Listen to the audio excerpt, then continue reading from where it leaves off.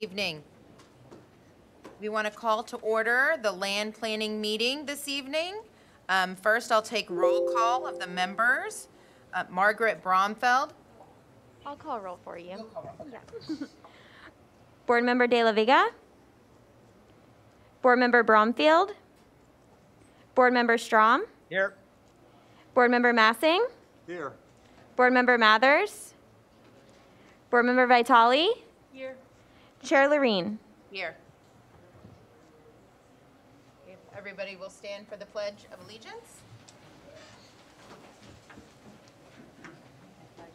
Pledge Allegiance. To the flag of the United States of America and to the republic for which it stands, one nation, under God, indivisible, with liberty and justice for all.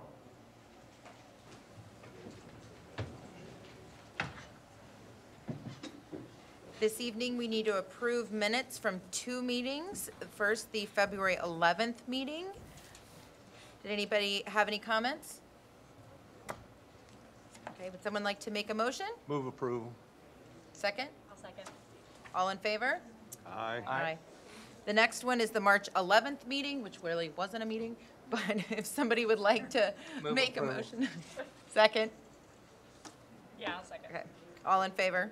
Aye. Okay, great. Fantastic. Um, And would somebody like to make a motion to approve the agenda for this evening? Second? Second. All in favor? Aye. Great. All right, do we have any comments for the public on non-agenda items for this evening? Okay. Do we have any comments from the board members on non-agenda items? Okay, wonderful. Okay, first up, the Palmetto Cove rezoning. Good afternoon, LPA Board, Madam Chair. My name's Tom Reitz, Senior Planner. I'll be presenting tonight's presentation. Tom, it's a little hard to hear you, I know, I sorry. was thinking that too. Yeah, I'm going to speak louder. up a little bit, and if I could, just bring this down. Um, The application is a rezoning from R3 to RPUD. The project's called Palmetto Cove. The site's located just south of Howpadioke uh, Avenue and west of Palm City Road, across and back of the Publix. Site is approximately .97 acres. It's made up of two parcels separated by a city right-of-way. So the existing land use is office residential, and that will support today's um, proposal for multifamily units. As I mentioned earlier, the uh, rezoning is from R3 to RPUD, Residential Planned Unit Development. So the site exists of six units on the north parcel and the remaining seven units on the south parcel. The main entrance into the multifamily uh, complex is off from Palm City Road. It will use existing city right-of-way that's currently unimproved. There's a secondary exit from Howpadioke Street to the north. They're also proposing to, um, proposing six parking spaces on Howpadioke that will go towards their required parking. There's an existing, or proposed pool and clubhouse, proposed drainage at the south of the site, and an eight-foot sidewalk along Palm City Road. So you can see the view in these renderings from Palm City Road facing west. They're quite attractive buildings. They meet the city's minimum design standards, Ex- actually exceed the, the city's design standards. Um, And then the bottom is uh, southwest facing, and you can see the, the two parcels divided by the city right, uh, improved city right-of-way. The applicant's asking for two variances to the code, one being density and the other the uh, buffer um, land use transition. And for the density, the land use uh, policy 8.72 um, allows up to 11.62 dwelling units uh, per acre in the office residential land use category, and up to 30 dwelling units by city commission approval. And the applicant is proposing only 13.1 dwelling units per acre. The second uh, request for departure from the code um, has to do with the buffer, and the required buffer in this case would be 8.75 feet with a 35-foot transitional buffer without any structure. The applicant is actually meeting part of the buffer requirement in that it's, the building's held back 55 feet, but they're only providing a five-foot landscape area on the north section, and then on the south section, they're only providing an eight-foot landscape buffer. Now, the applicant has provided uh, a six-foot wall on the north parcel only, and the south parcel is separated by an existing chain link fence. So, as I mentioned, the applicant is proposing a wall on the north parcel. Staff's recommendation is that they include a wall in the south parcel that wraps not only on the west border, but wraps around to the south. And this separates from single-family residential.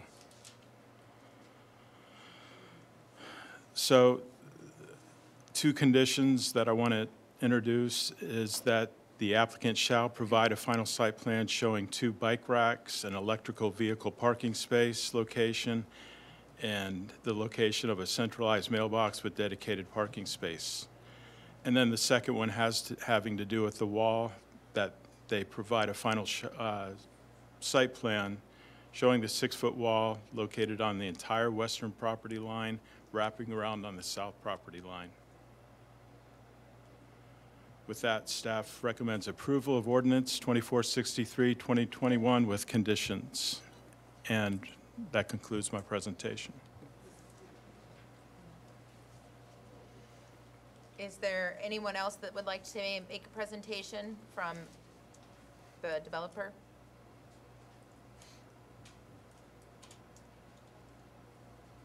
Good evening, Terry McCarthy representing the developer. Uh, Tom, if you could go back to your location map. As they say in the real estate business, it's all about location, location, location. And I say that because you'll note where the subject property is, is directly behind the rear of Publix, which I've been by there several times, is not the most attractive site in town. To the north, up, if you will, there's a rather intense, older, multifamily de- development. Tom, if you could go back to the first picture. Which way, Terry? For the first, very first one. In my opinion, this is a nice project, as is seen right here. Um, These are going to be for sale. So the people that buy here are going to be invested in this. Uh, As I, as I've, been going through that area several times, it's in, with- within walking distance of downtown. Um, And it's a good project. And it, the, the, the developer is gonna spend a lot of dough to get from here to there. And to tell you what the developer feels about this, let me bring up Mike Faulkner, who can give you his insight. Mike's been here a long time, so it's, I think it'd be important for you to hear him.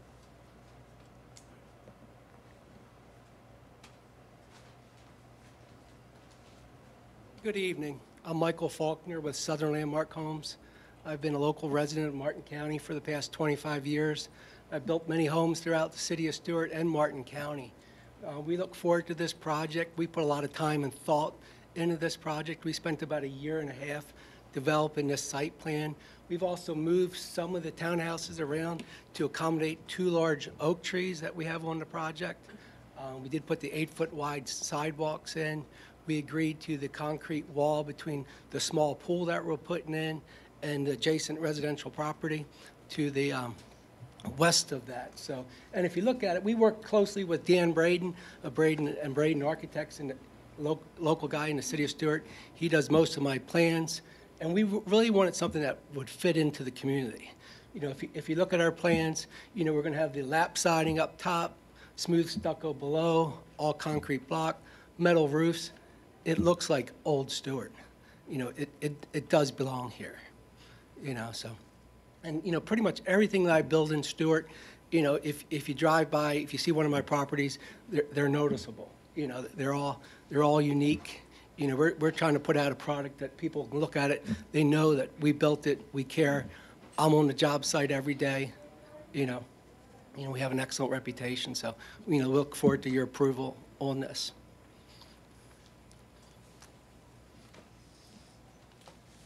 And really, the heart of it is the increase in density, but you'll know from the staff report that what's allowed is 11.63, and we're asking for 13.1. I would suggest to you that in this location, that is warranted. We agree with the staff report. I must note that the one condition concerning the wall, we hadn't seen it before tonight, the bike rack and everything, we're in agreement with. We just have to analyze that between this and the next commission. I'm not saying no, we just haven't talked about it. Um, I have Dan Braden, our architect, here tonight. Happy to uh, address any issues you may have. Susan O'Rourke is our traffic engineer. Susan is here to address any questions you may have, as is Mike. So, again, we, we agree with the staff report. Uh, Tom, I don't know that you, you uh, uh, told the, uh, the LPA board members, but we have given the appropriate notice. Actually, we gave it twice. For the first hearing that uh, some of you were here that was continued, and we gave it again a second time so that no one felt, uh, you know, deprived that they didn't know when the hearing would be. Happy to answer any questions. Okay, is there anyone else from the um, developer and presentation perspective who would like to speak this evening? Okay, now we will allow for public comment. These comments need to be three minutes. Um, Please don't cheer or do anything, just make the comment, and then we'll move on to the next one. And do I have, I don't have the list. I haven't received any public comments. Oh, we need the public comment cards.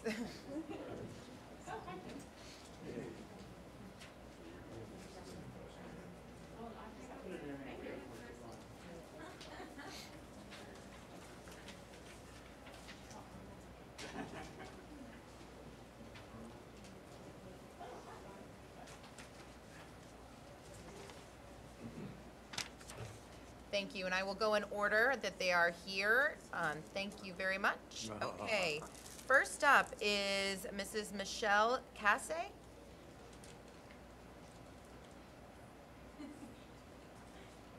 Hi, good evening. Um, First, I just want to say that I have been uh, blessed to live in this neighborhood for 25 years. Um, My husband and I own the property immediately south um, of the property that is being developed. Um, I want to concur and say that the, the, um, the plan does look uh, very attractive, um, and that is, is, is, um, you know, we feel really proud to be an old Stuart community, and it's really charming. Um, So I, I, I think the plan's beautiful. It's not really, that part isn't our concern. You know, when I was growing up, my mom always used to say, "If" is a big word.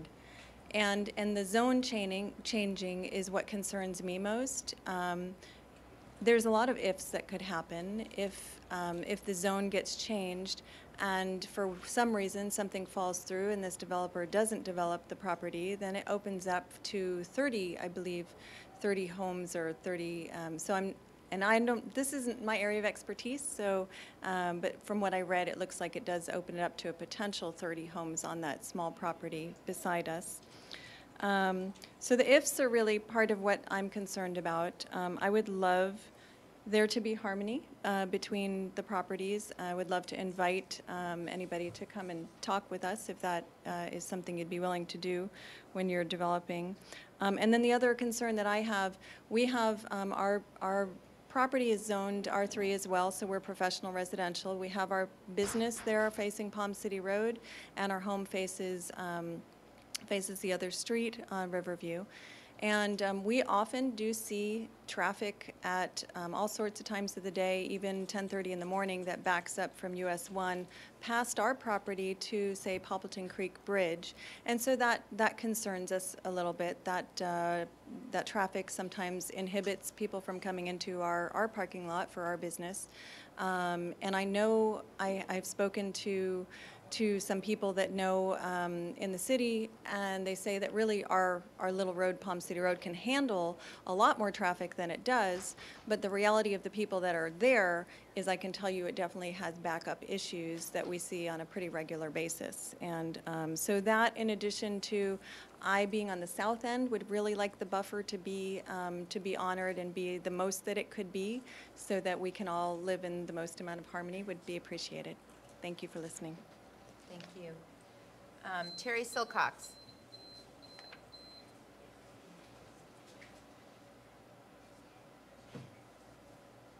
Hi, I'm Terry Silcox. I'm a resident of the neighborhood. We live in the old Dyer House, which is on St. Lucie Crescent, so we are certainly familiar with the character of the neighborhood. Um, my concern is not that the builder is not doing a, a, a great thing for the community. I think the plan looks really nice and it is fitting with the community. But as Michelle said, I, I am also concerned about the changing of the zoning. Um, It is currently platted for 11 units, and they want to put two more in. As far as I'm concerned, it would seem to me that if it's platted for 11, why change it? Just because you can change it doesn't mean you should change it. And that does open the door for many other things to happen. Um, I think that the request for the change is with a RPUD that gives them a lot more flexibility to put things in there that maybe we should be looking a little closer at. For example, um, I'm a little concerned about the permeability of the project. I don't see where the water runoff is all going. I know that there is a little area designated to the south. It is almost the same size as the area designated for seven houses in the back, which is a much larger area with a greater permeable surface. So my concern is um, if they end up, if that water runs off into that neighborhood behind them, then what happens to that neighborhood's runoff? And it, it's just a cascade, no, no pun intended. Um, it's a cascade of water throughout that older neighborhood. And the trouble with it, and we see it with every new house going in in that neighborhood, is the requirements are different for the height of the structure above the road surface. So all the old houses like mine are very low, and all the new houses coming in are very high. And where is that water going? And I know everybody says the builder is responsible for it, but I can assure you, once that builder leaves, they don't like to get that phone call saying, I have water, and I have standing water in my yard, and what are you going to do about it? Those seven houses that went in behind them, they had the same issue, and I know that they struggled with that builder as well. So I think that it is a nice addition to the neighborhood. It's certainly very pretty. I just don't see why we need to change the zoning. That would give them a greater permeable surface, leave it as R3, and then we know what's going in there. It can never be anything different. Thank you. Thank you. Okay, James Flynn.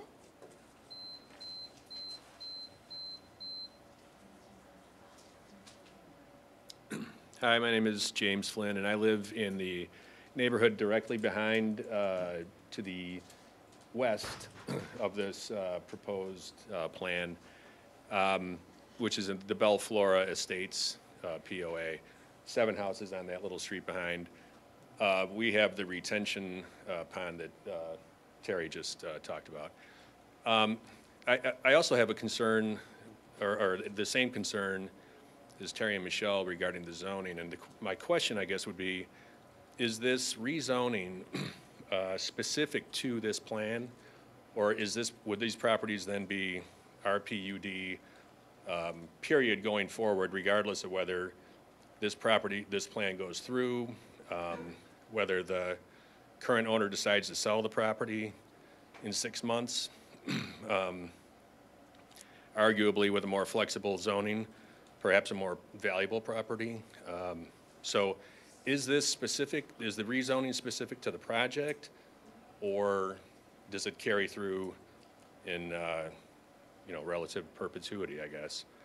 Uh, And then also, I would be interested to hear any details about, and, you know, perhaps not tonight, but at another, whenever the appropriate time, um, as to stormwater runoff plans, uh, you know, uh, which way flow is intended to go and so forth.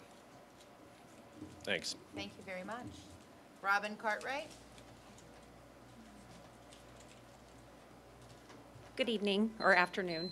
Um, Robin Cartwright, 703 Southeast Hibiscus in Stuart. Um, I do not live adjacent to this property, and this might have been more appropriate for public comments, but looking at the um, developments that are happening in the community, um, I've heard a couple of comments that the LPA and the county commissioners and the city commissioners don't care that, here, giving the opinion that residents don't care until it's truly in their backyard. And 300 feet is really very few people's backyard. So what we've been hearing in the last couple of LPA meetings and in the city commission meetings is a lot of attaboys and thanks for doing this and making these concessions, which is great. I have no problem to a development. However, what I have a problem with is that we keep saying that we need affordable and attainable housing, and obviously we need housing because that's what keeps being presented. However, over the vehement objections to people in the community and who live in the county, we're not seeing anything that's not getting approved. This LPA and the city state that they're concerned about density and housing costs, and yet these properties are going to be projected listed for sale according to the school report for $400,000 a unit, which is well in excess of anything that's being sold in that area right now. It's been confirmed that no traffic studies look at comparison in other projects. I get it. Projects are started, they're stopped, they're tentative. Project A and B are still approved. If Project A gets started later, the traffic is still going to happen as a result of the approval of the project. So previously, um, Linda Kay had provided a density map, which I'm happy to give to you again tonight. But let's talk about the 30 people in Palmetto Cove as they exit their development. Their kids are slated to go to school in Palm City, according to the report, because J.D. Parker and the other Stuart elementary schools are too full and they're over capacity. So those who drive and they try to turn left into Jensen, they're going to end up driving through those exact neighborhoods that were mentioned, through Poppleton Creek or down Manor Drive. And then they have to go over to Kanner. And the reason that this matters is because when they turn right onto Kanner, they're headed into Central Parkway Lofts, which will be presented to the city um, on Monday for a second reading for a proposal. You go a bit further, and you're going to have to access I-95 and the Turnpike, and that's where we get into Bridgeview. So the kids from Central Parkway Lofts are in the Stuart District, and they're already presented with that overcrowding. Bridgeview has been approved to basically one egress in and out, so anyone leaving there has to make a quick exit and a quick U-turn onto Indian, which also affects the traffic that goes into the hospital that's there. But again, because we look at these things in silos and these properties in silos, we don't look at them holistically, traffic, schools, et cetera. Which leads me to the Costco proposal, because all of this manifests on Kanner Highway ultimately at some point. And that is being presented to the LPA, should there be quorum, on projected to be April 29th. So even if you look at the 80% of the AMI for those properties that are coming up with Costco, and you look at the traffic study for that, and you look at the independent traffic study for the apartments that are there, they're two independent traffic studies. They do not cross and they do not get presented together, yet there will be 7,000 cars for Costco, and however many residents will be on that plot. So I'll close with this. There was an article in TC Palm that took a look at the Sportfish Marina Resort north of the Roosevelt Bridge. Board member Nicholas Schroth was quoted as saying that a commercial business shouldn't be responsible for the area's traffic troubles and parking at Harborage is Harborage's problem. These comments are beyond irresponsible and beyond the role of anyone making a decision on behalf of supposedly representing a community. And I'm not saying that this board said this, I'm just pointing this out as a point. Because based on these comments and this attitude, which is pervasive amongst all of the independent boards, it's always somebody else's problem.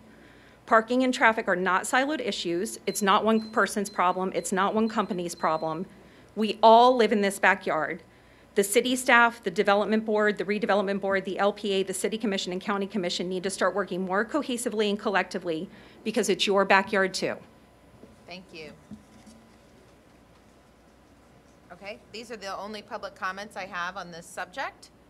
Did, do you want to say something?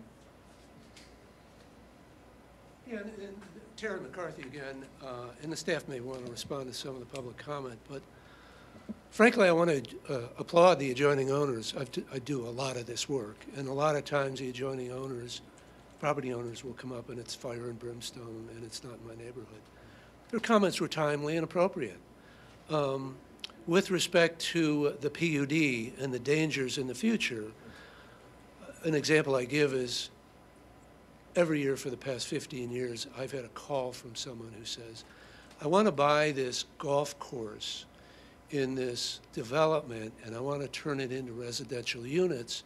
What are my chances? And I say, if you wake up tomorrow and the sun is coming up in the west, you got a good chance, but otherwise you got zero chances. The PUD, the, the, the good news of the PUD is this is what we got to do. We can't do anything else.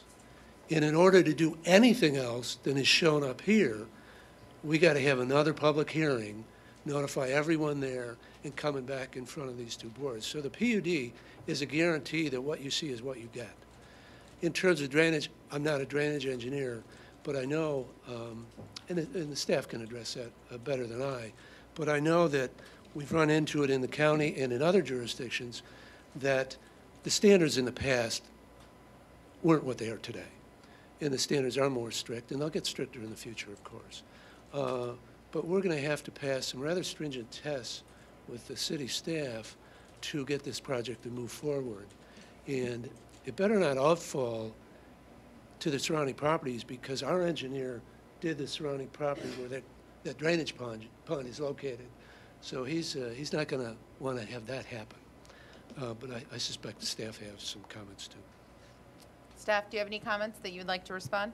Uh, yeah, it's Kev Freeman from uh, the Development Department, the Development Director. I just want to reassure the neighbours. Uh, your comments obviously were received um, and understood. I want to reassure you that this plan is the plan that is going to be approved and attached to the planned unit development. That's a, that's a development agreement. So that means that whatever could be done in the R3 zoning, which could be buildings up to three stories, um, that's going to be taken away by this plan. So we're only allowing two-story buildings. Yes, the density is going to be increased, and that's part of the planned unit development agreement. Is it's you know a balance of what we get and what we you know we we you know we share or whatever. Um, this is you know a, a, a vehicle. A planned unit development is a vehicle that really secures and lets the neighborhood know exactly what's going to go there. To change that, there would be at least three more public hearings. You'd get full view of those. And I think, you know, I can't guarantee that it, something would change, but it would need to be through a public hearing process. Any other comment from you? Uh, regarding the stormwater, yes, we have much, much more stringent uh, stormwater uh, measures now. We've adopted different uh, rules and regulations in our code to um, look precisely at the issues that we were seeing in terms of o- outflow from projects. Um, and these will be very carefully considered during the um, final engineering drawings that have to be provided during the site plan. All right, if that is the end of the public comment, we will now open for board comment. I have a question. Um, The vegetation, why is there, ask? why are they asking for an exclusion from, for- regarding the height and everything regarding vegetation? Okay, so they're asking for a variance to the required buffer width. Mm-hmm. And typically, that's 25 feet plus 10 feet for every extra story, in this case, 35 feet. And the code requires 25% of that to be landscaped, mm-hmm. typically with a wall or fence. And they're providing less than the 25%, which is 8.75. In this case, it's eight feet on the south border and I think six and change on the west side. And so that's the variance that they're asking for. I thought there was also a variance on the height of some of the landscaping. I could have sworn that I read that it was only five feet instead of the required height? Is that, that's width, okay. But in terms of the buffer, staff is recommending a, a six-foot wall. That's correct. On Okay. all boundaries? The six-foot, That'll go across the right-of-way as well, or the, that easement? no, No. on all boundaries except for the easement, yeah. I have a few questions. Um, So in regards to the buffer, uh, so I know that we're just talking about, you know, really small differences in regards to what's allowed and what this project is proposing, and I was wondering if it would be possible to get denser planting where there is going to be landscaping? Yes. Yeah? We could include that as a condition for their development. I think, I think that would go a long way. Um, my other question is in regards to traffic.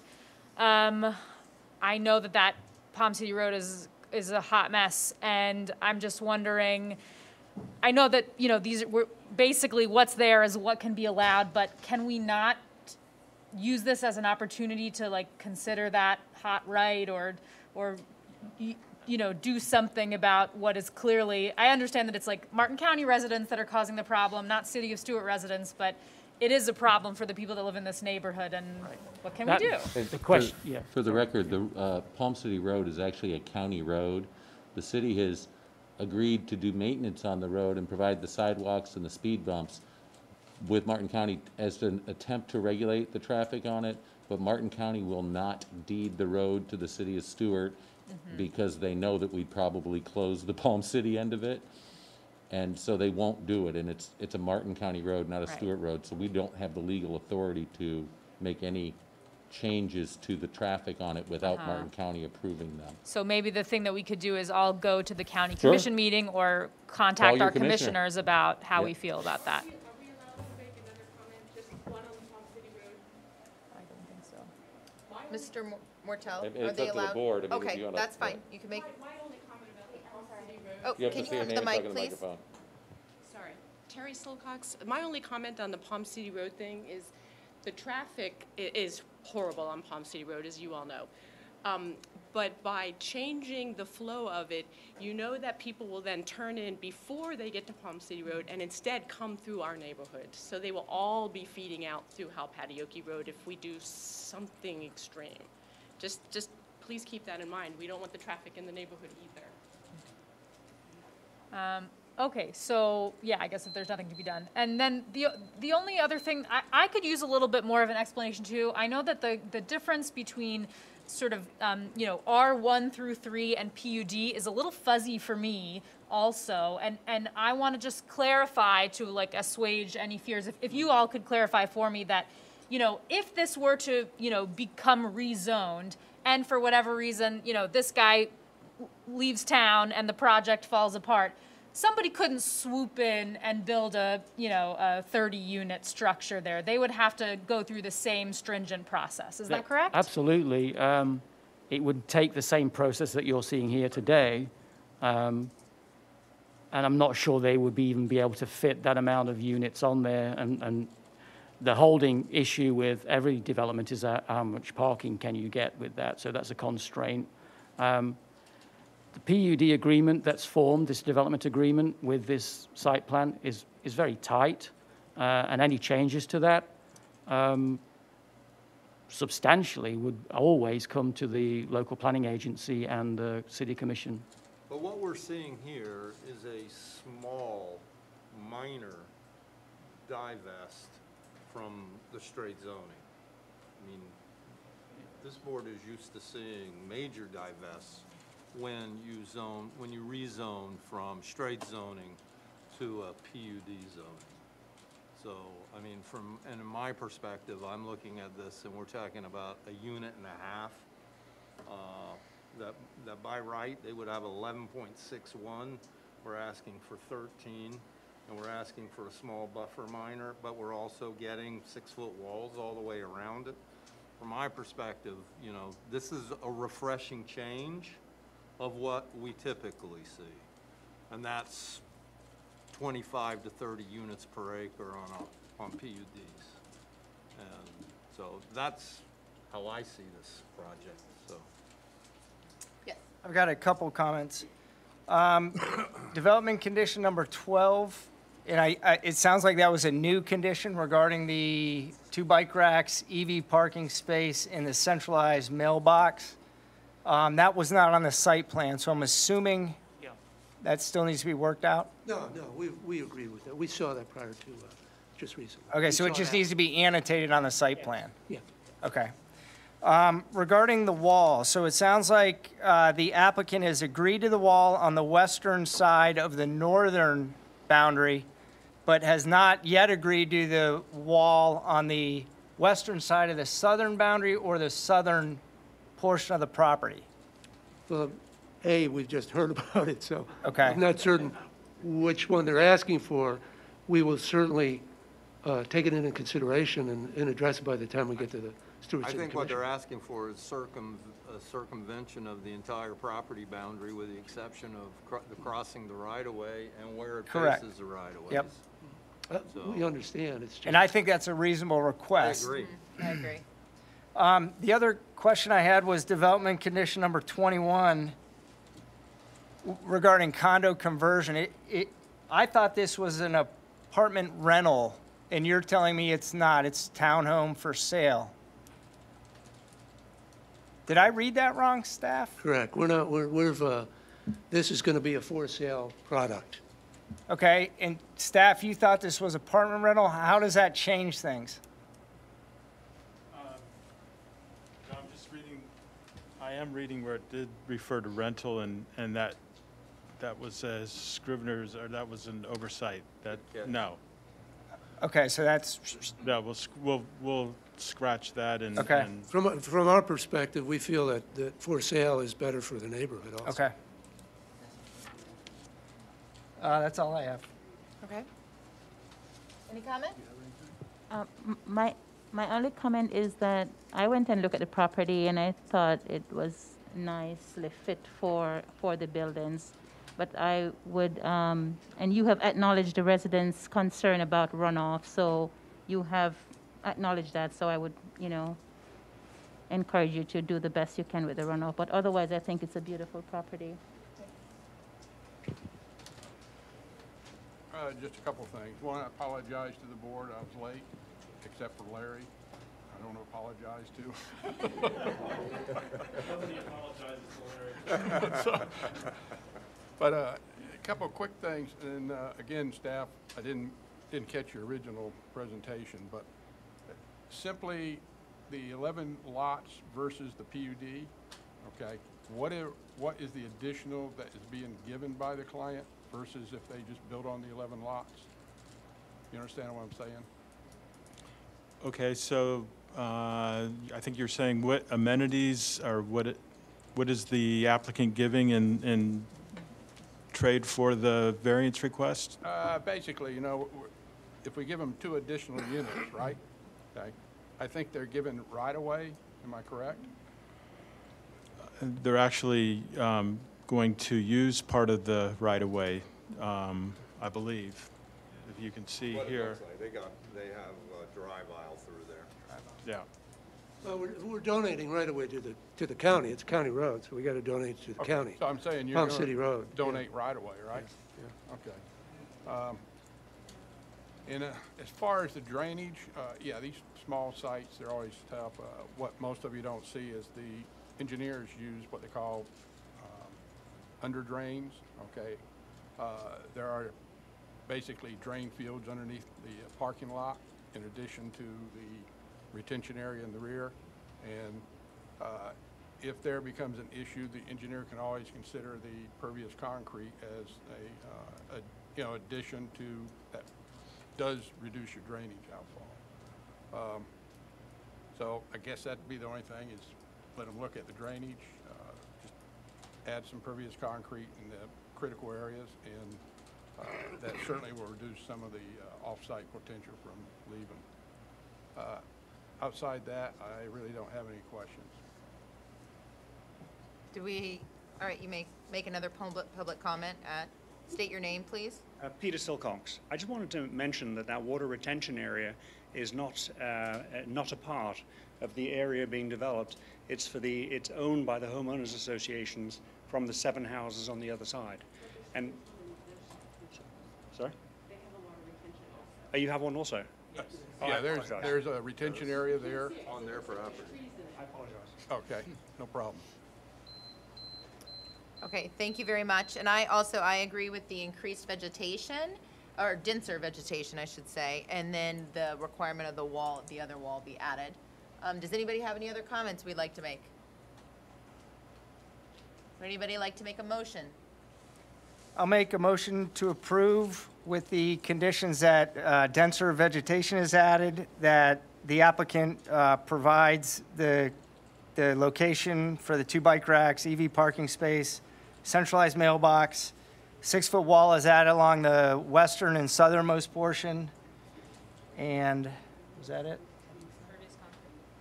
What's that? I think that covers Good? it. Okay. I think so. Would anybody like to second? I'll second it. All in favor? No, Aye. don't do a vote. It'll be I need a by- vote. I'll take a vote. Board Member Bromfield? Yes. Board Member Strom? Yes. Board Member Massing? Yes. Board Member Mathers? Yes. Board Member Vitale? Yes. Chair Lorene? Yes. One, just one follow-up, sorry. Also to scratch condition 21, the condo conversion. Thank you very much. All right, that ends this, that portion of this evening's items. Next, we will move to the rezoning of Flamingo Avenue. Thank you.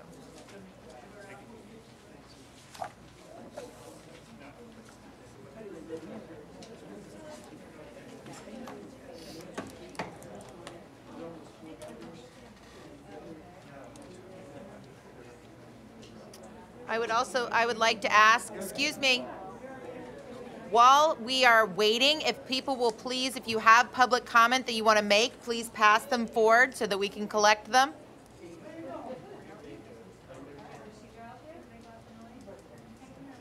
Okay?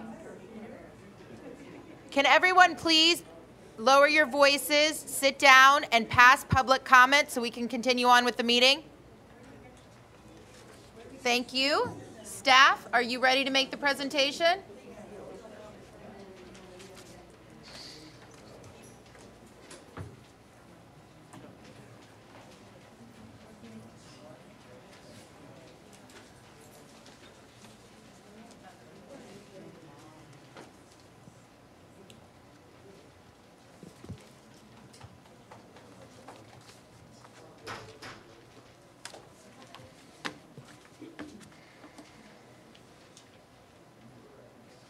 You ready? Yes. Okay, great.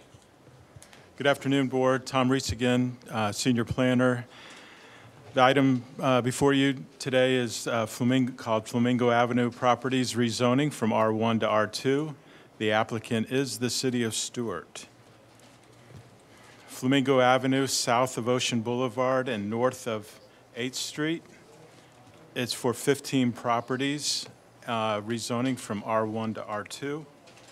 This is basically a housekeeping um, uh, project that uh, was, was initiated by uh, illegal duplexes that exist on four of the site, uh, four of the parcels.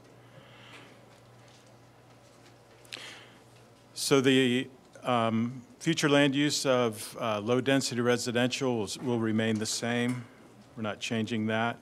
And you can see that there is an existing R, an R2 block in between the properties to the north of, of Sixth Street and then properties to the south of Seventh Street. So what this exercise and housekeeping project will do is it will create a contiguous block of R2 zoning uh, represented by the orange, as well as legalize the existing four uh, two-family units um, that are currently in the R1 zoning.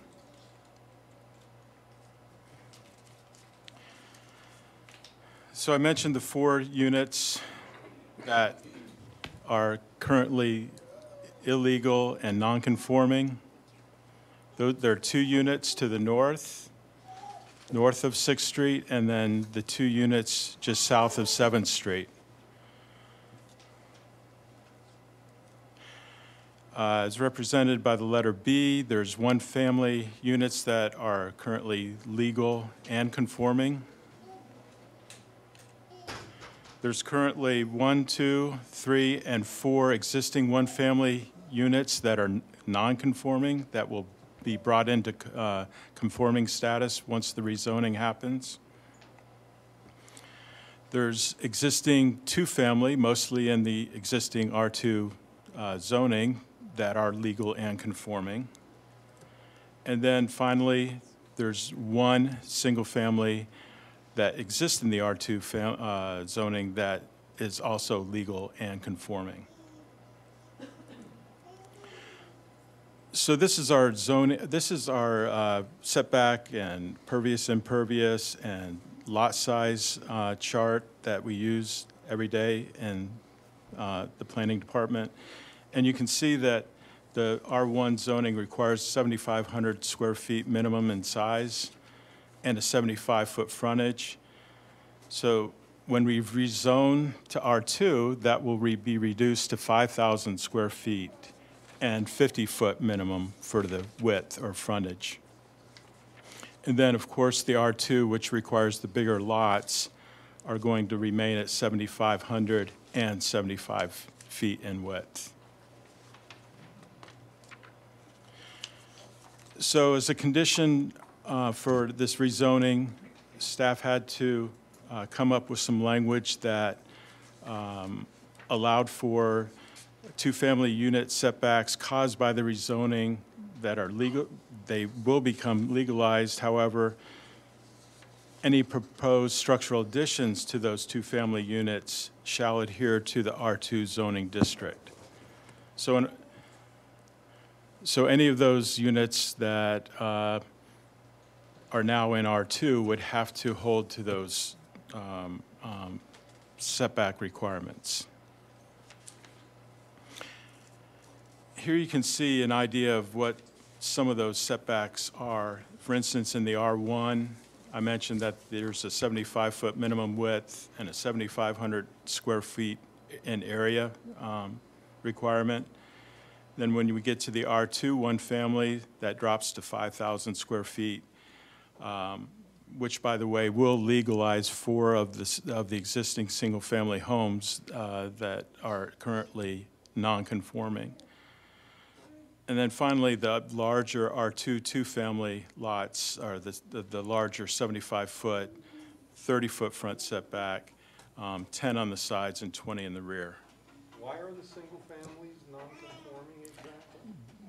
There's, there's four single families, uh, units that are, uh, they're minimum, they don't meet the minimum lot width and lot area. And they were just built back in the And, day, or? and they were, yeah, it's, it's hard to say when it happened. Some of the houses were built prior to 1990 when Dwani came in and we uh, came up with these overlays and and zoning requirements and, and, um, so as far as the timing, yes, one happened probably shortly before the overlay and, and, and thus they're non-conforming for many years. So this is a chance to clean it up, not only for the uh, illegal two-family units, but also for some of the single-family units that are non-conforming. And with that, staff recommends approval of this ordinance with the attached exhibits, and that concludes my presentation and open, open for questions.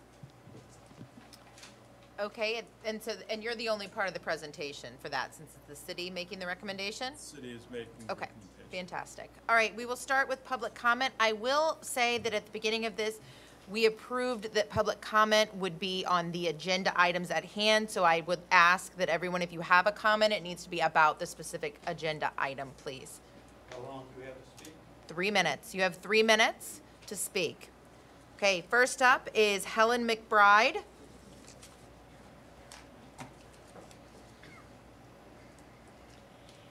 Helen McBride. I'm from Flamingo Avenue.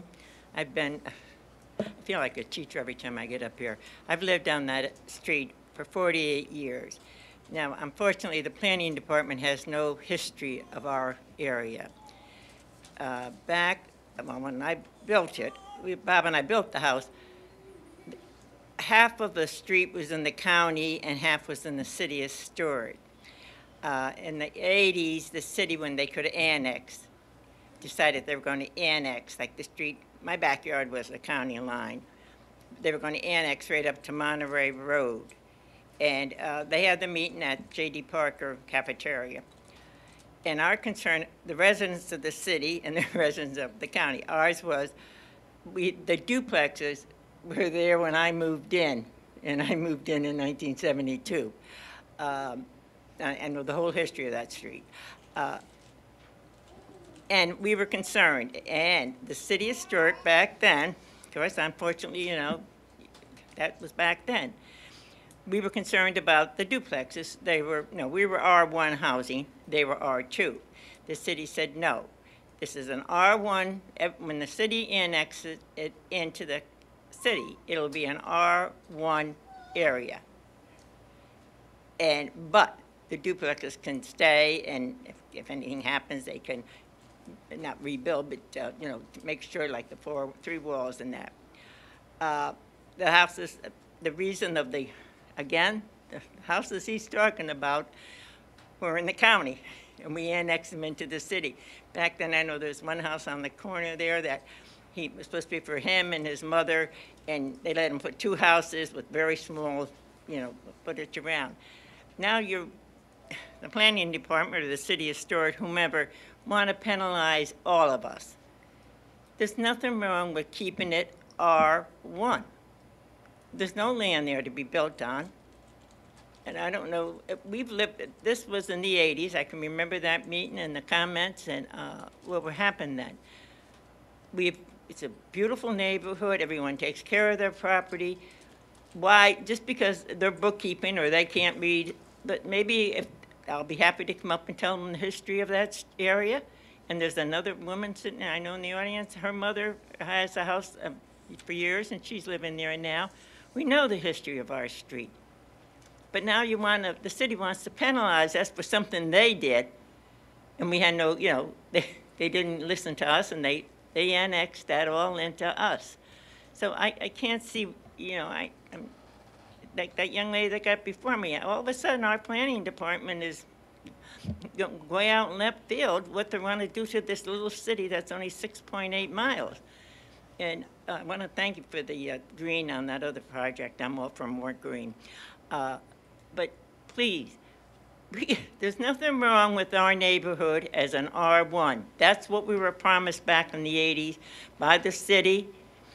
And uh, the county didn't want to lose it, but they, you know, it beca- all became city property, and we cannot be penalized, I feel. Thank you very much. Thank you. Frank McChrystal, I, wait, excuse me, we had stated in the beginning of the meeting that we're not gonna do clapping and cheering, we're just gonna make our comments and move on. Okay, Mr. Frank McChrystal. When does my time start? My, uh, my description of what's going on will be a lot more layman's terms and probably make more sense to everybody than Mr. Reetz's. It's from driving around and looking, okay? There are nine legally zoned duplex lots at the north end of Flamingo and Ocean. There are three non-compliant duplexes built on single-family lots on Flamingo Avenue. The city of Stuart, in order to legalize existing two-family units, there are three, and provide uniform zoning, is requesting to rezone 15 current single-family home lots into duplex lots, turning an entire three-block area bordered by Flamingo, Ocean, 8th, and 5th into duplex zoning. The nine existing legal duplex lots will expand in number to 24.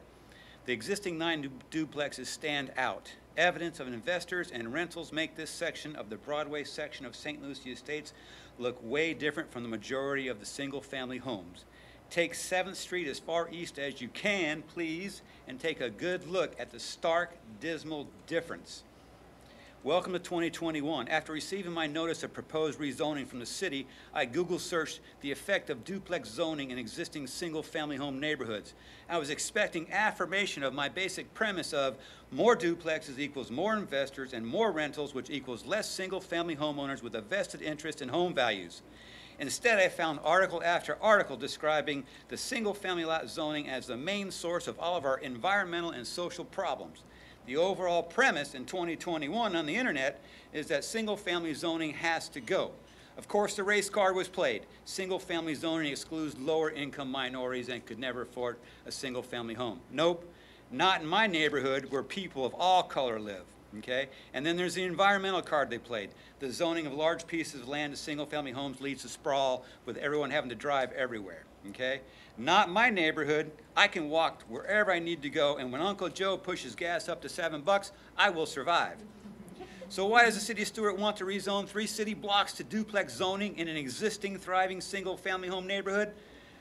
We need more affordable housing will be the cry, but it's deeper than that. There are city leaders who view anything traditional as Neanderthal, and we Neanderthals need to be re-educated. Minneapolis 2040 plan, which passed in 2019, allows duplexes and triplexes on all single-family homes. The whole state of Oregon, House Bill 2001, passed in 2019, legal- legalizes duplexes on all single-family land with population, with cities' population greater than 10,000.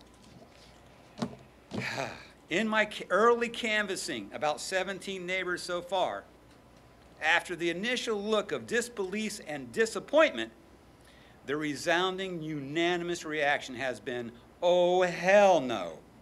Okay? And I'll finish with one question. Where do slumlord investors and rentals fit into your long-term sustainability program with the goal of becoming the greenest city in America? Thank you. Thank you, sir.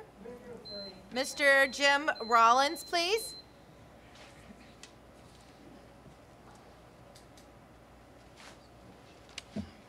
Good evening. Um, Let me get in order here. Uh, My name's Jim Rollins, and my wife and I, Mary, live at 1645 Southeast Eighth Street. We're the, uh, at the bottom of the map right there, one of the Cs. We're a subdivided lot. Um, And we are zoned R1 residential. Uh, We purchased our house over 18 years ago. And one of the factors of buying our house is we wanted to live in a residential area. In knowing that, when we purchased our house, we knew some of the surrounding zonings, which were R2. So that was a major influence for us to purchase our house. Now it's coming about that, I mean, I really don't understand the housekeeping end of it, but it's going to affect the value of my property. And it's going to affect the people across the street from me, south of me. It's going to affect the people west of me. And then I'm going to be affected by what my neighbors can do, as all know that an R2 zoning has minimal restrictions, okay? Less restrictions. In height, if you've got the setbacks, there's a number of things you can do. And I didn't buy my house in, in letting my neighbor determine my value of my property, okay? So this is what's going to affect me.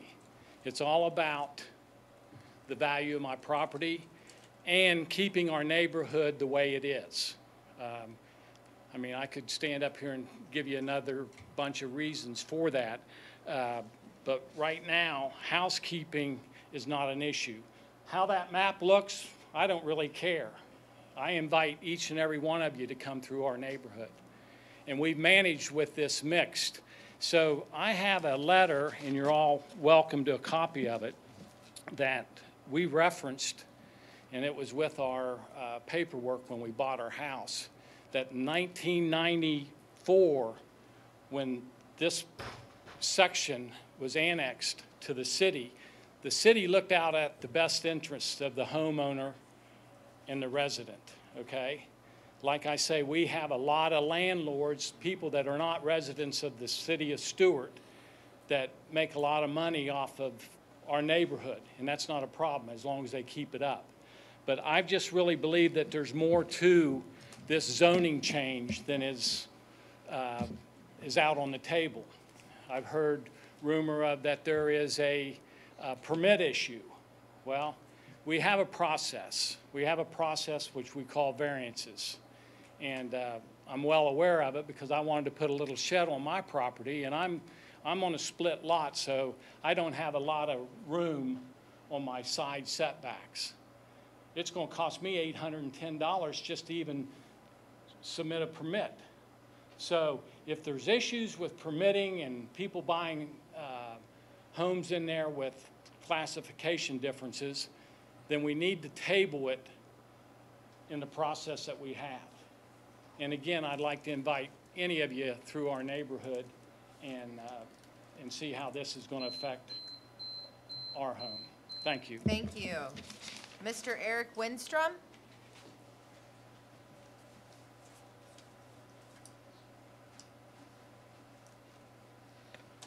Hello, my name's Eric Wickstrom. I live at 614 Southeast Flamingo. It's a house with a big pink chimney. I'm sure if you drive by, you've seen it. Um, I moved there 18 months ago, paid $400,000, and really was looking forward to a nice, great neighborhood. Um, and then I hear about this thing, and all I could ask myself is why? I mean, why is this going on? And then I hear it's only for a housekeeping measure. That to me is ridiculous. Second of all, um, it says right here, rezoning to be consistent with the city's comprehensive plan. What is that comprehensive plan? Where is that? Is that, is a comprehensive plan to get more duplexes in, to increase the tax rolls, to get affordable housing? I just don't really understand it. Um, and you know, to me, I've never heard of something where you have three nonconformings, and instead of fixing it, you're going to make everything else nonconforming or change it to conforming. That's backwards. All I've got to say. Thank you, sir. Tamara Lucy?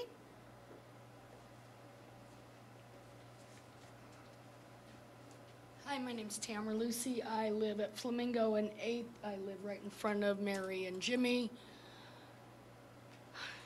We live in our neighborhood because it is a single family. And the more we're learning about the R2 rezoning, it sounds like there's more that can be done than just adding duplexes. It sounds more like you can put in maybe some commercial or other things that we're not aware of. So, what is the agenda for the area? That's the question here. What are your future plans? It's not about affordable housing. You're trying to get rid of the affordable housing. The gentleman that just spoke, what he paid for his house compared to what I paid for my house three years ago is twice the value. You're taking away the affordable housing. This isn't going to help. It's just going to skyrocket our property taxes. Who's going to be able to afford there? I was lucky enough to be able to afford a house on a single income when I did buy. I couldn't afford a $400,000 home. So I appreciate your time, and I hope you consider that this neighborhood is a single-family neighborhood, and we bought there for that reason. So thank you for your time. Thank you. Christopher Collins? Hi, how you guys doing? So I live right across the street from those uh, lower two A's over there. I know Kurt, he's right across the street. Um, those two units are single-family units. It's just splitting a duplex in half. So all I can see that the real issue is is those two A's up on the top. So beyond conforming and paperwork, and I'm sure you love to look at that map and it be beautiful and orange all the way on that block. I hope that there's some level of appreciation from human, not just paper, the 30 plus people who are sitting here in this room telling you, please don't mess with our area. You guys are the gods of local planning. You have power to do whatever you want.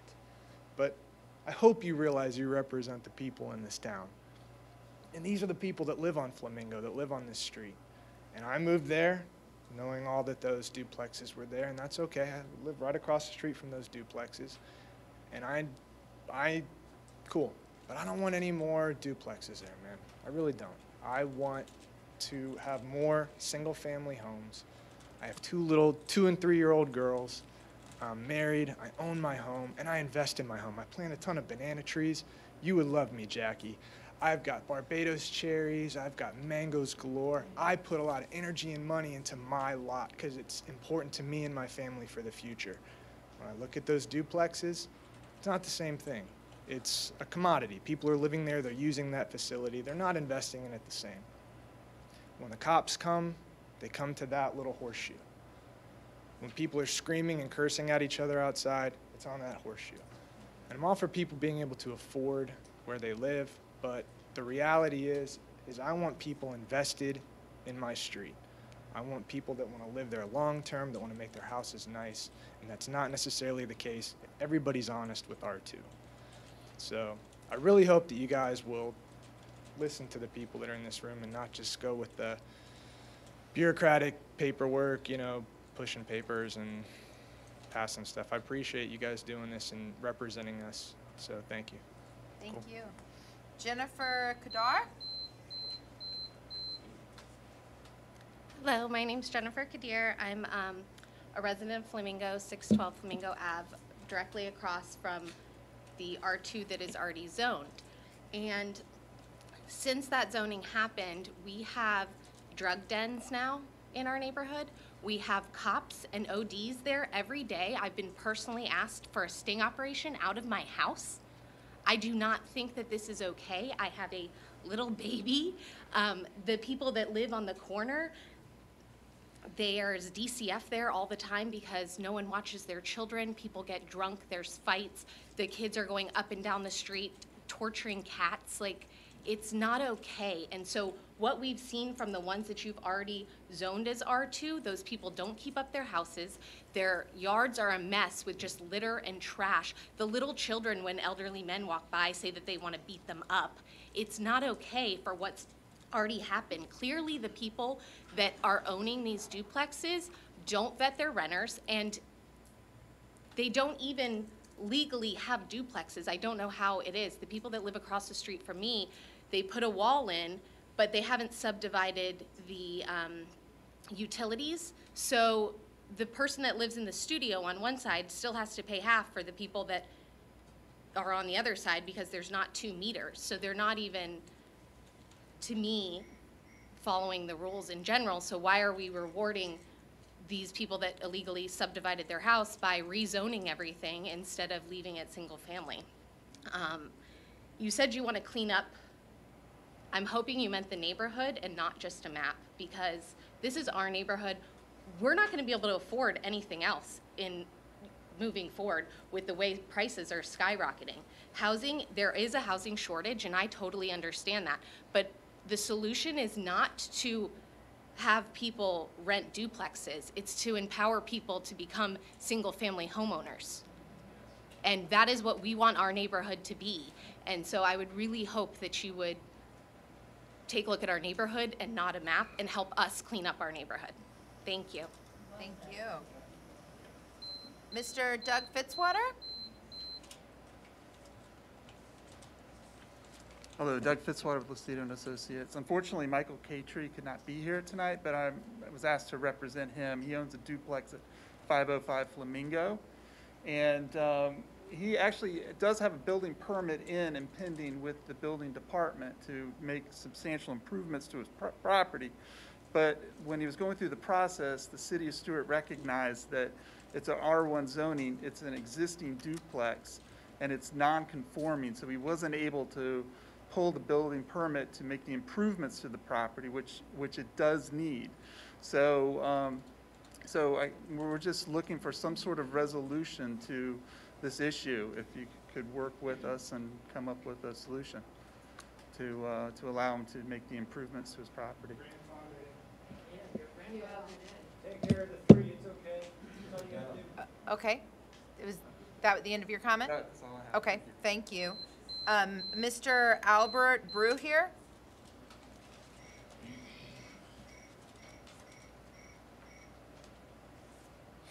Good afternoon. My name's Albert Bueller. I live at the corner of uh, Ninth Street and Flamingo.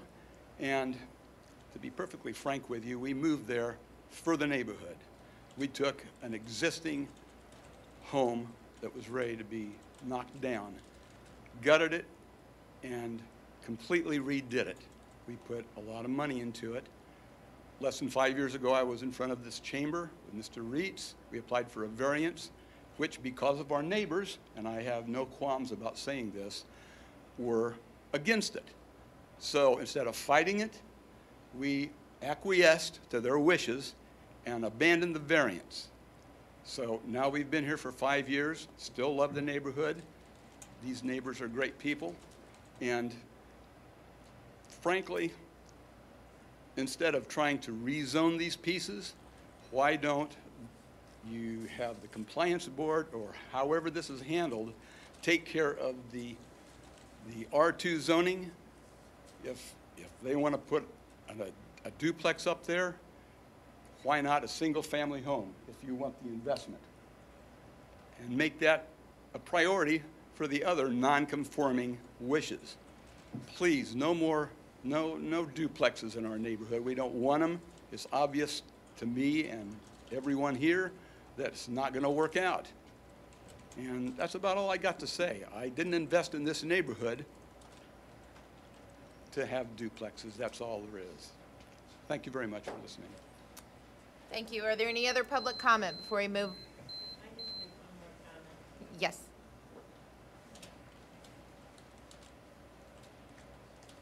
Helen McBride from Flamingo.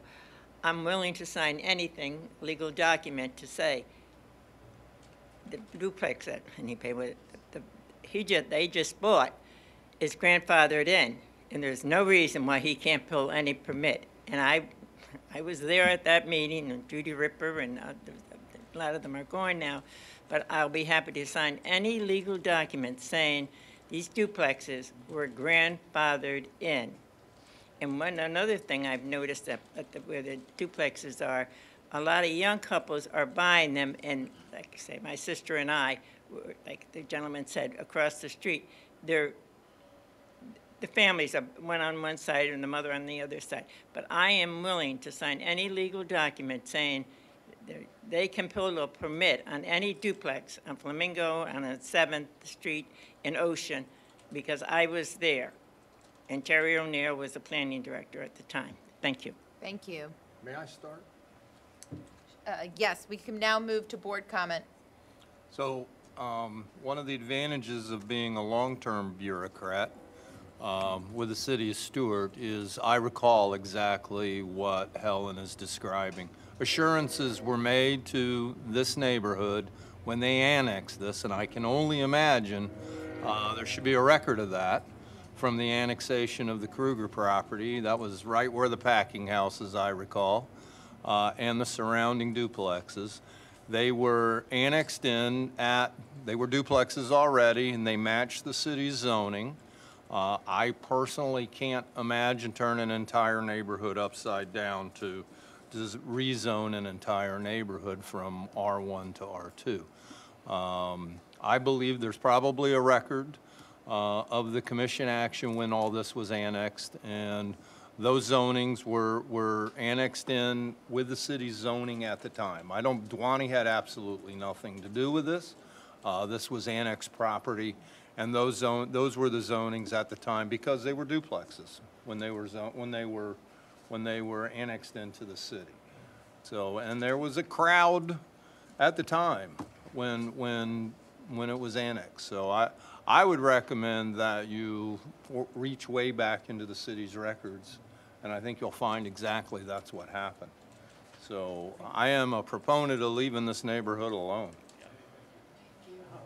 Um, And and before you make your comment, I would also like to ask, you know, based on some of the things I'm hearing, um, if you look at this and where the R1 is, it's really a very small portion that is the R2. Why are you trying to designate it all as R2 if the majority of the neighborhood is R1? I'd like to know the reasoning there you were going The, with. the law prohibits spot zoning. Yeah.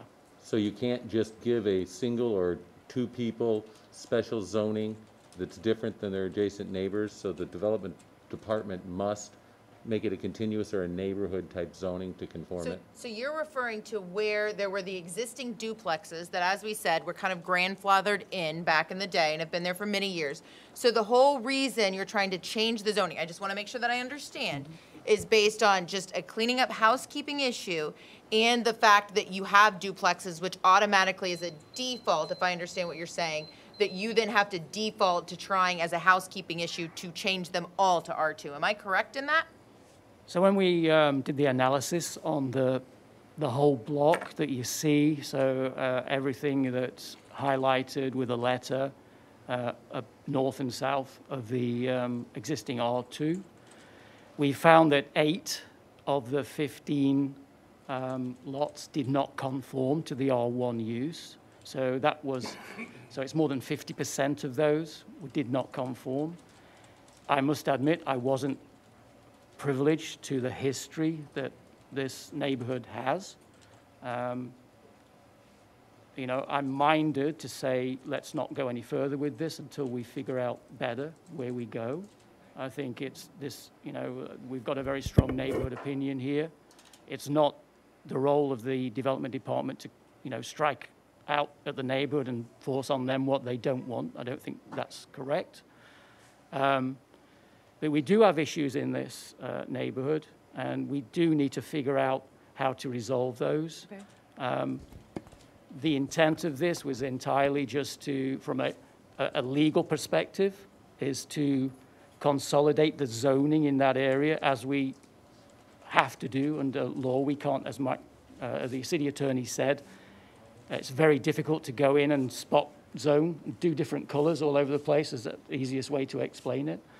Um, but we do have to resolve some of the activities in that neighborhood um, in that they're non-conforming. And we want to help. The reason why we, we move this, you know, primarily is to help the people who are in the league, in the non-conforming So- lots. That's the To- re- to- real To be candid about it, there's an enormous amount of activity where people do changes to property without permits. And the only people being punished currently are the ones that are trying to follow the law and coming into the city for a permit. The, the, our code in paragraph, or pa- chapter 8.03.00 has a very descriptive discussion about existing non-conforming development and lots. And these qualify as that. But as a result, under paragraph four, the lawful use of the land existing on July 23, 1990, although such use does not conform to the provisions of this chapter, may be continued. However, no such nonconforming use shall be enlarged or increased, nor shall any nonconforming use be extended to occupy a greater area of land. People have turned out in the last 20, 25 years to want porches, but you can't do it. So we could go in and code enforce everybody in the R1s and everybody in the R2s in that neighborhood, which would be about 15 of these houses, for adding porches, for adding back patios, for, for being, for adding, converting garages, expanding the space in their duplexes, adding, enclosing porches, expanding the duplexes. We didn't want to do that either because basically, we, our position on it was, nothing's changing in this neighborhood. There's not a single vacant lot over there. All the duplexes that are going to be duplexes are duplexes. They're already there. In order to build another duplex in that neighborhood right now, you'd have to tear down a single-family home. The $400,000 home Eric was talking about, if you bought it and tore it down, you wouldn't make money on a duplex. So there is no development opportunity. It was literally to conform the neighborhood. And like Kevin said, it doesn't matter if you vote no, that's fine. We just had a duty to bring it forward to you because we have two different people coming in with applications and caused us to notice the neighborhood. And we noticed, as he mentioned, eight R1s that are non-conforming and four of the duplexes that have made expansions and done things illegally or without permits. And as a result, we can always go back and, you know, address it one by one and code enforce it or whatever. We just, what we wanted to do is just leave everybody the way they were. And, and I- get it. If they, if you don't want to make the change, don't. I, it's, it, it- the neighborhood doesn't want it. I totally understand. So I, I do ask, because when you keep referring to the neighborhood, so you're not including those to the left that are not in the red marking?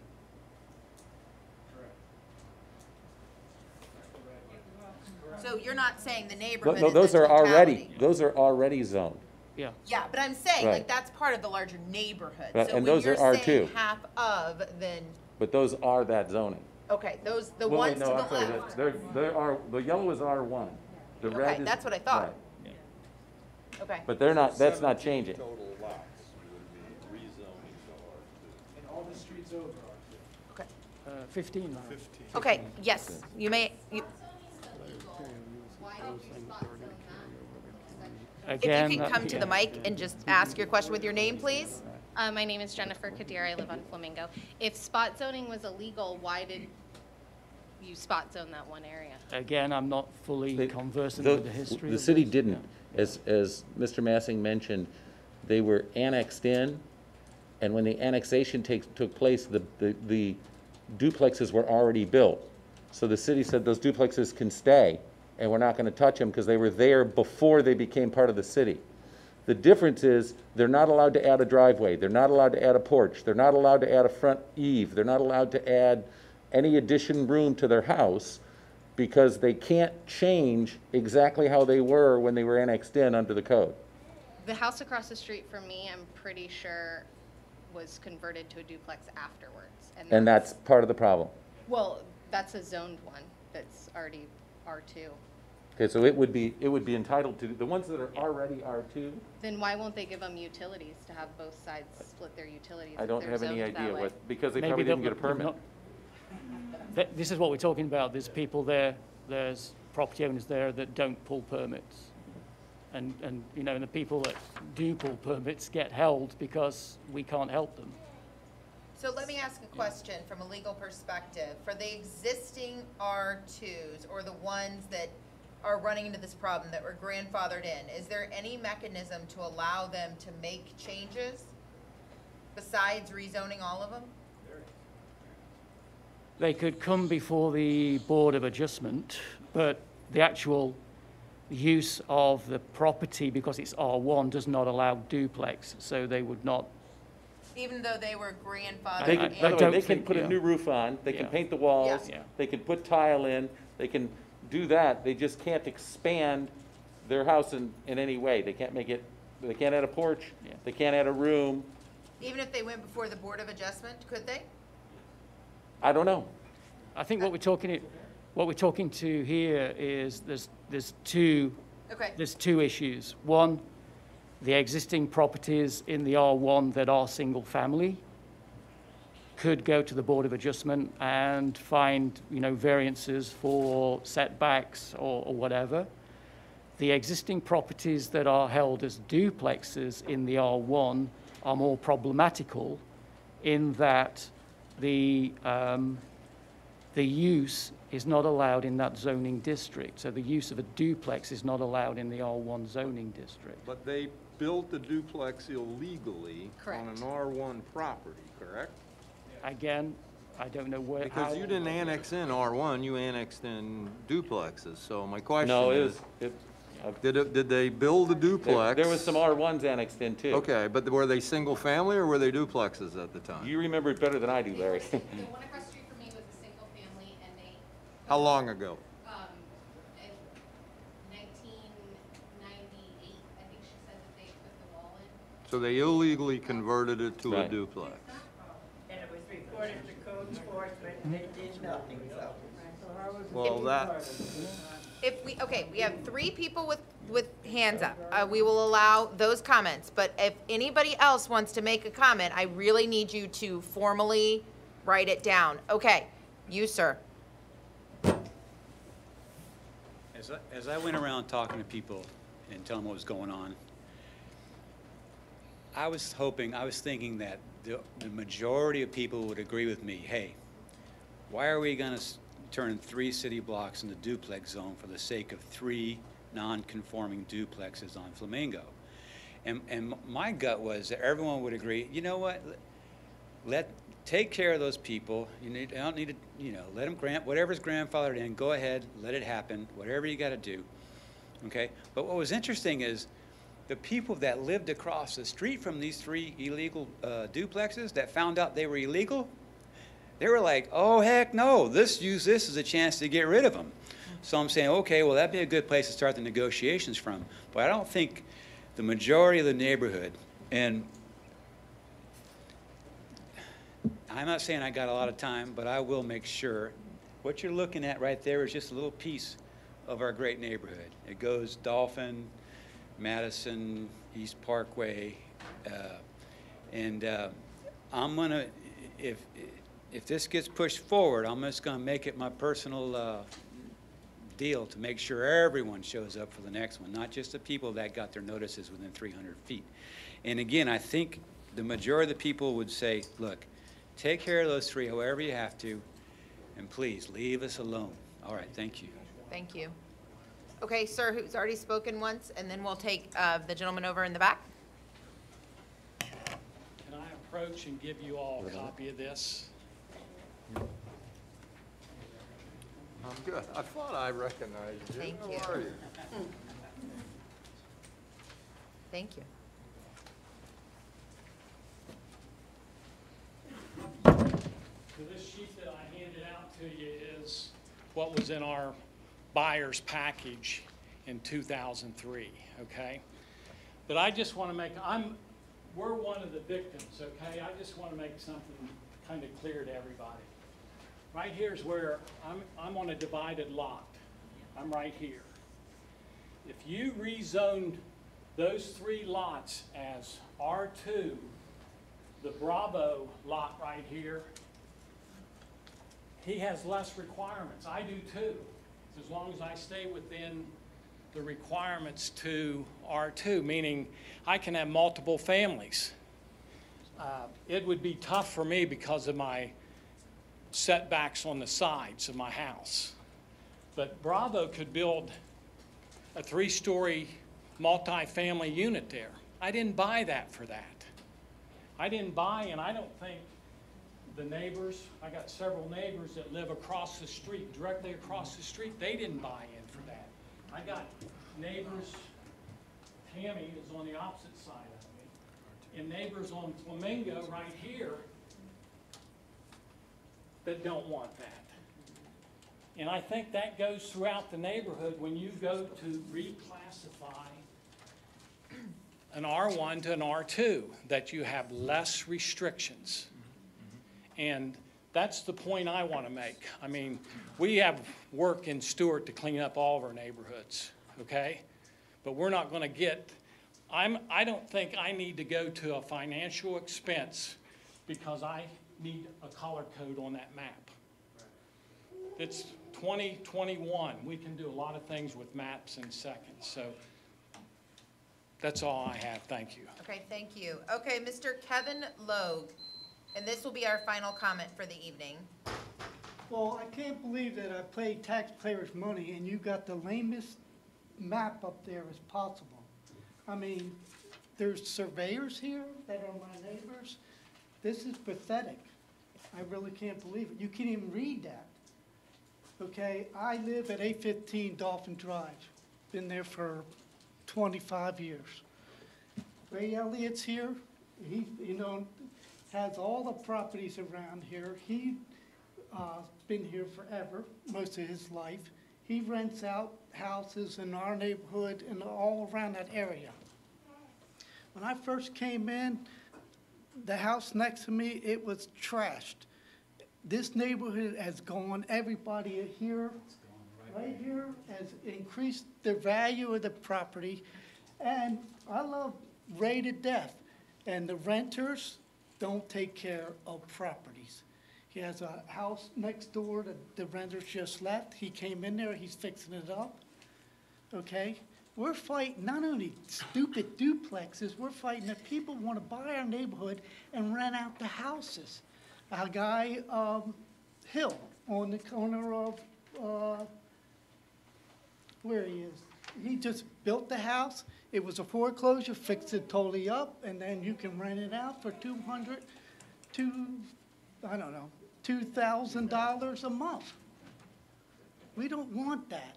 We want a nice neighborhood that we bought our property for, R1 all the way. So the duplexes that you're looking at are just not trash.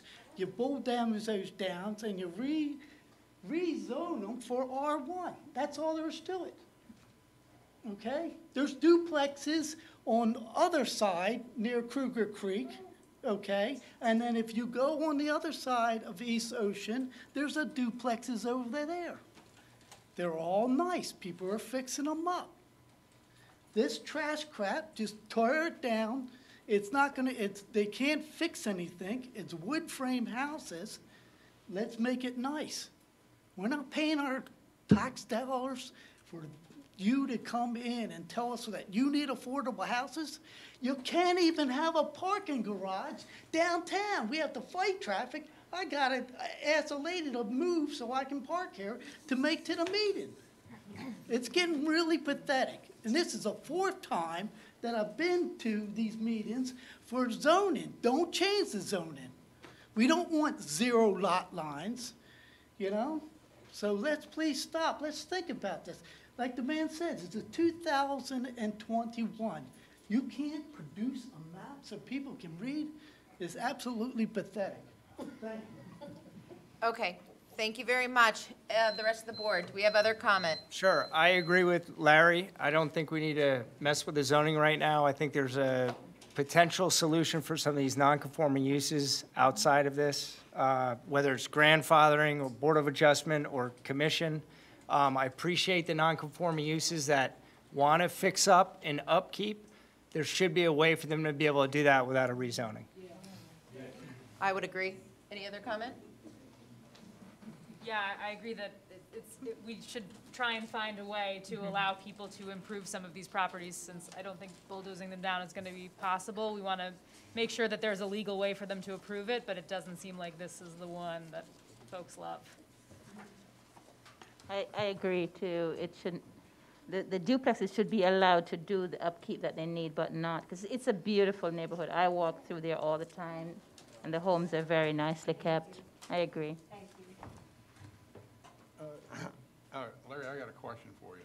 Sure. Under the existing building codes, the codes allow you to uh, repair, just not expand on existing buildings. per Well, se. the, what they're describing is something to do with the zoning. The building code will allow you to, if you do it per code, you can do just about anything. What they're describing is, is that zoning provisions. Right.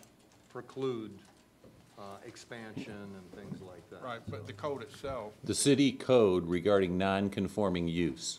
Because any other, like R1 can expand in an R1 as long as they don't violate the setback. Correct. The non-conforming use can't expand.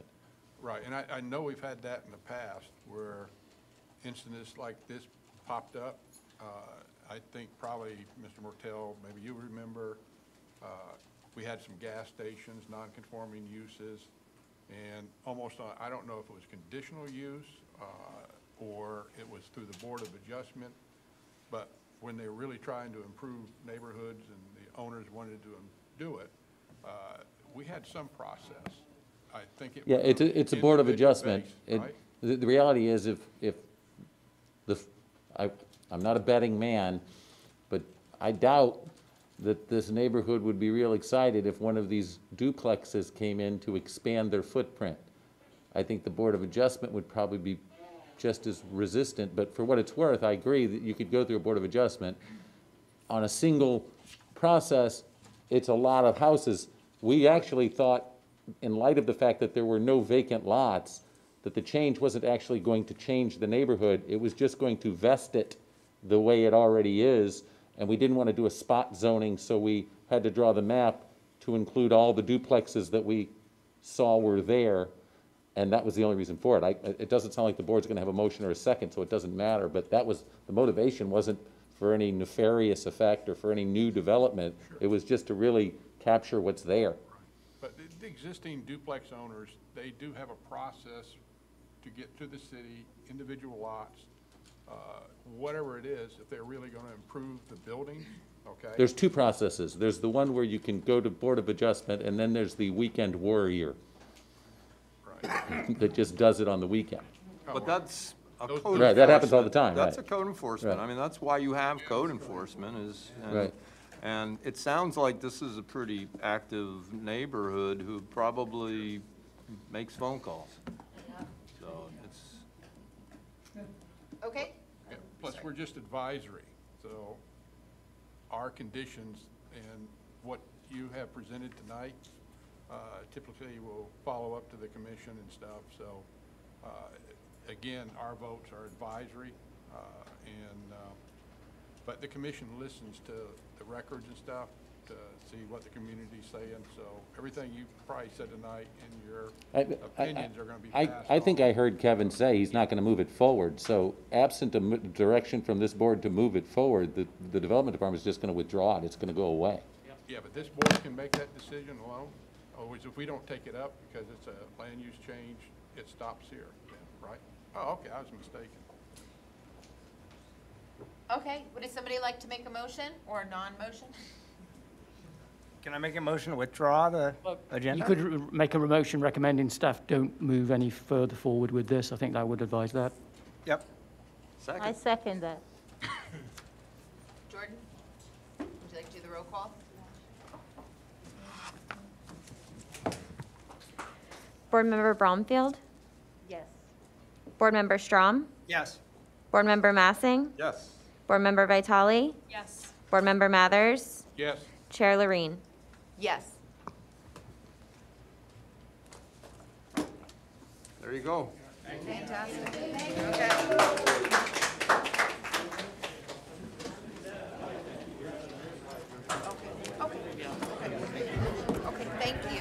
Okay, thank you very much. Um, do we have any other staff updates this evening?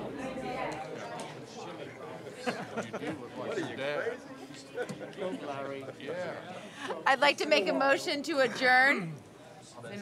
All those in favor? Yes. Okay. Wait a minute.